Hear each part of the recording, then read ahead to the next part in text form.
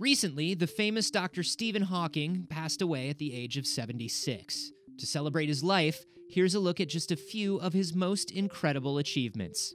Hawking discovered that not everything gets trapped in a black hole, and that they do emit some radiation and particles. This is known as Hawking radiation. Throughout his career, Hawking would combine quantum physics and general relativity to discover more than anyone else about the nature of black holes, and in turn, the nature of the universe itself and how it was first created.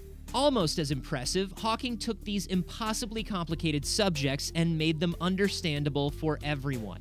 And perhaps one of Stephen Hawking's greatest achievements of all.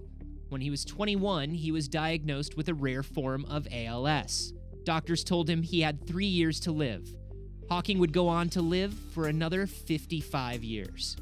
Thank you, Dr. Hawking, for all you've given the world of science and for inspiring us to look up to the stars every night.